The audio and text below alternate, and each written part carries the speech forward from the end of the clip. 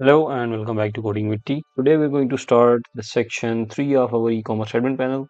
By watching this section 3, you will be able to master the e-commerce responsive design and once you have watched the complete section, you will be able to create your own responsive websites, admin panels and anything inside Flutter Web that will be 100% responsive and you don't have to be worried about after watching this playlist for the responsive design. So make sure to watch all the videos, link is in the description. First of all, let's quickly have a look what we are going to create.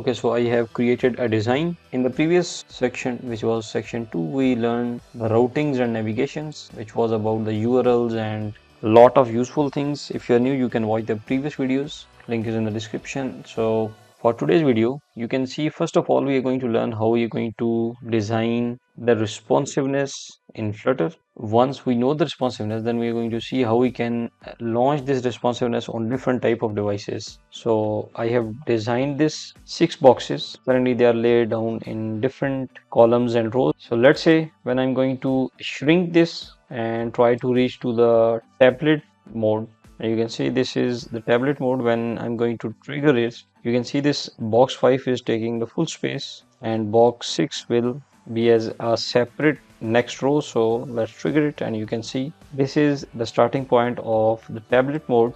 So it will remain responsive in the tablet and when it is going to trigger the phone mode you can see now it is in the phone size or the mobile size. So when i'm going to shrink this it is working very fine. So Definitely later on we are going to also cover the complex designs using this same approach but this is going to be the very basics so make sure to watch the video till end. Okay so let's get started with today's tutorial.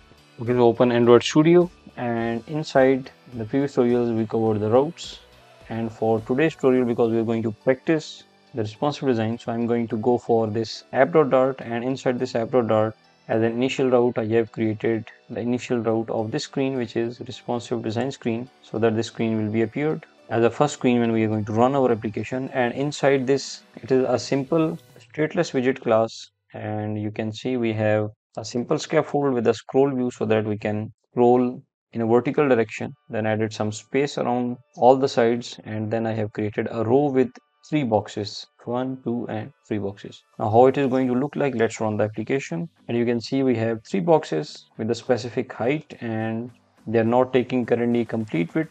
So you can see it is not working as a responsive design. So let's say we want to give a width to these boxes.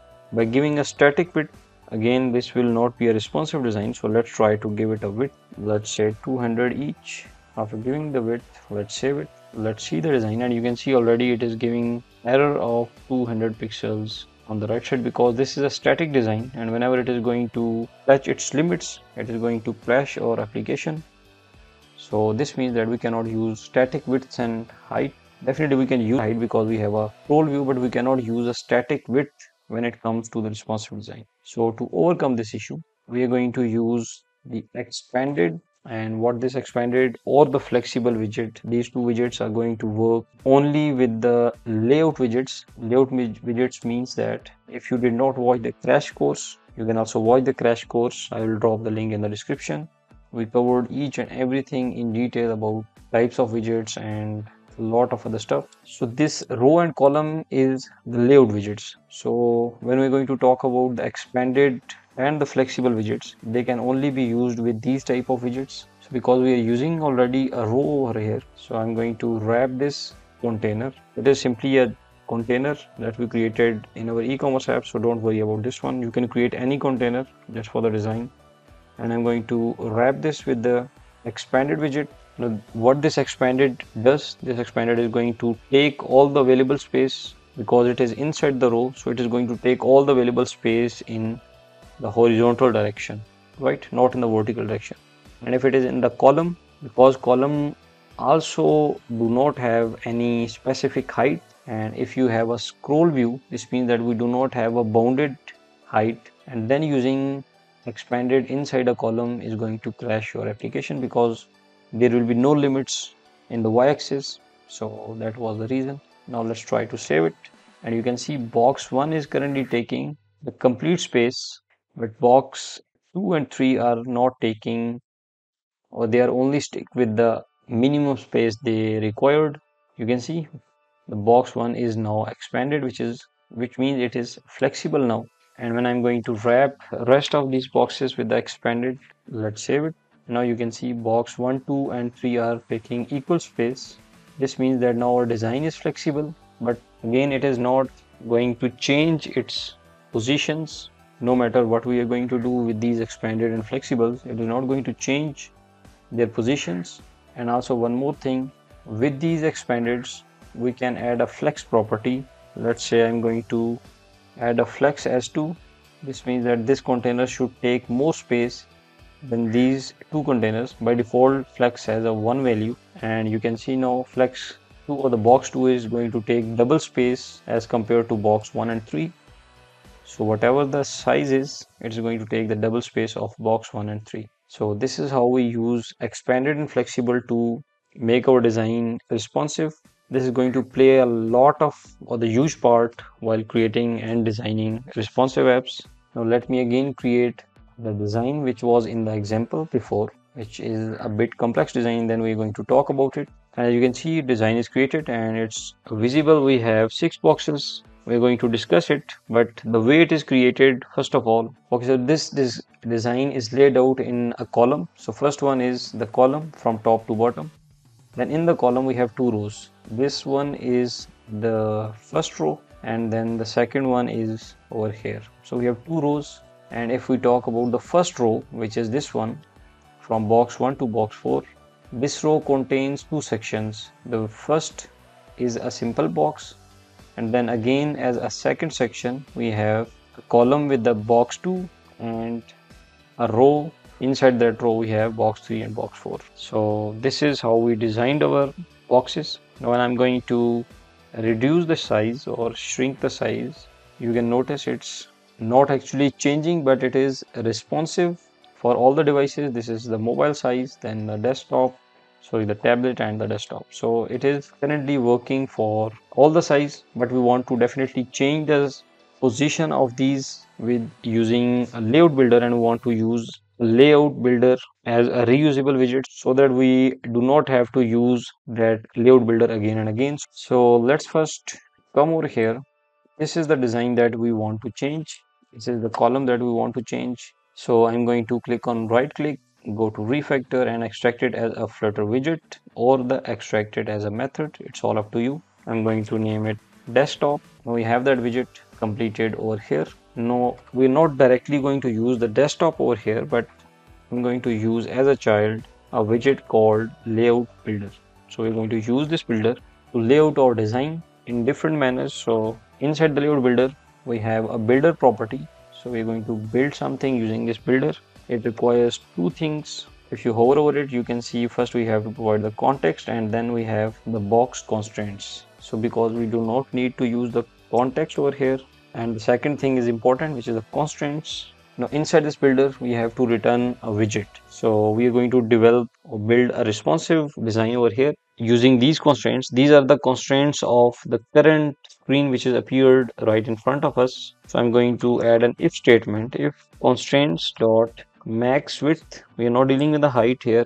We are dealing with the width. So i'm saying constraints dot max width let's say if it is greater and equal to 1300 then I want to return the widget which is the desktop widget that we have already created which is over here. And in the else let's say I want to create simply a center widget because we have not yet created tablet and mobile versions. So the first one is going to return the desktop and the second one is going to return again a widget but a center widget. We forget to add a return over here. So now all the errors are gone. Now let's try to run our application. And currently we can see our design because I think the pixels are currently or the width of this browser is currently having 1100 greater than that. So let's try to reduce this and yes it's triggering. You can see when it is going to automatically detect the screen size when it is going to trigger the if statement which is below than 1100 then it is going to display as the second design or the next design. Now let me quickly create mobile and the tablet designs as well. Okay I've created desktop tablet and mobile. In the tablet what I have changed is I did not change anything in the first row but in the second row I just remove the row from the row to column. So you can see it's a column now. And also I have just removed the expanded because we are not going to expand vertically. We have a static height and I'm going to give the width as double dot infinity. This is again going to take the complete width of this container. And again for this container it is an infinity as a width. Height is 190 but for the mobile version if you see over here I have I'm only using this one column one single column. I removed all the expandeds all the child columns and rows and right inside this column I have added a simple container with the height width will be infinity means to cover all the available space. And then we have this space for all the containers right? So let's save it. But first before running this inside our layout builder we are returning a desktop over here. And same way we have to define all the other sizes likewise for the tablet and mobile. Because I've added some of these values over here. If constraints.max width is greater than 1366 this is the ideal size of the desktop then we want to display the desktop. And if it is not the case for the tablet we are going to check between the desktop and between the mobile. So we're going to say if max width is less than the desktop it is under the desktop and it is greater than the size of the tablet. This means that it is it will be inside the tablet from below the desktop and inside the tablet. So this is the size of the tablet then we want to display it. In else case we want to display the mobile. So let's save it. So we have the desktop design and then i'm going to reduce it to tablet. And you can see when it is going to trigger the size of the tablet it is going to change the design to tablet one and then i'm going to again reduce this to mobile. And you can see when it reaches to the mobile size or below than 768 it is going to turn to this mobile device. And then after that we can easily scroll it. Now so far we are done with this layout builder. And if you have any questions feel free to ask me. Now i want to use this layout builder as a reusable widget so that i do not have to be worried about the layouts again and again because we have to design and we have to focus on developing our other classes. So for that i'm going to create this as a separate widget. Let me quickly do that.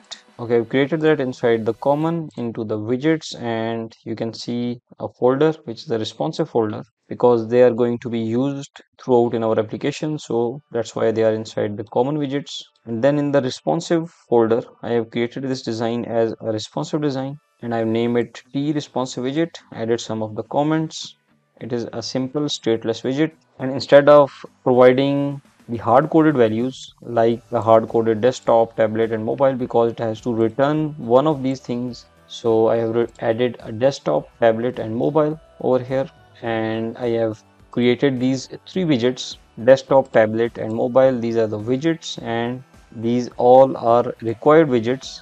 Whenever we're going to use this class, we have to provide these three things tablet, desktop and mobile.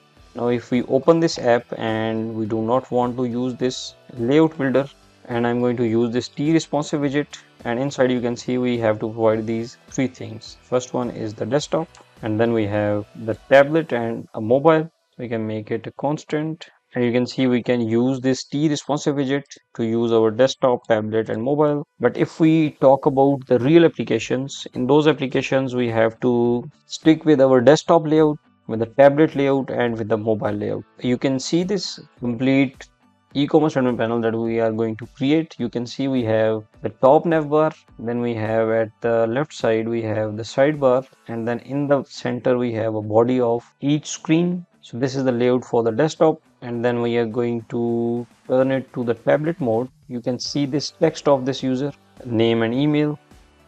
And in the tablet mode search box is also removed and reached towards as an icon. Then we have also the sidebar removed in the tablet and we have a button over here. So this means that we have to create these layouts for mobile laptop and tablet. And then after that we can easily pass all the data to our users and you can see from this top navbar also that user details are gone so this is what we're going to create the designs of different devices or the layouts of different devices in the next tutorial. So that's it for today's tutorial. I hope you learned something new and if you learned something new, please make sure to like this video and if you have any questions, you can ask me down below in the comments. Once again, thank you for watching. Take care.